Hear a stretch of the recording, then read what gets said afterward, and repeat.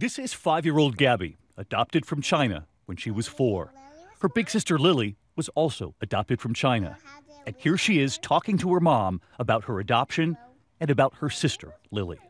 We came to little babies.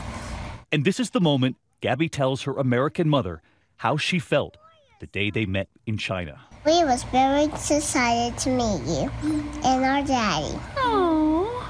And we love you guys. And we want to be here for you and daddy. Oh, and I was very excited to meet you too. Gabby then talking about what the adoption did for her heart. Well, you know what happened to my heart? What happened to your heart? Well, when the first time I told you, I, when I saw you, my heart fell in love with you. Your heart fell in love with me? Bec- Oh, my heart fell in love with you too. And now us too. Tonight, the family telling us we are thankful this precious message is spreading worldwide, and our hope is that more hearts and homes are open to adoption because of precious Gabby. When I saw you, my heart fell in love with you.